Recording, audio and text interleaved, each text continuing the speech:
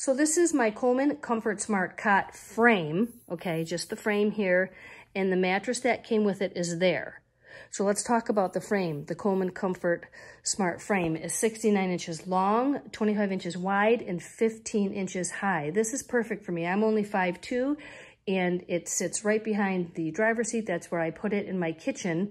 This little kitchen goes right behind it. And these two fit perfectly in the back end of my van.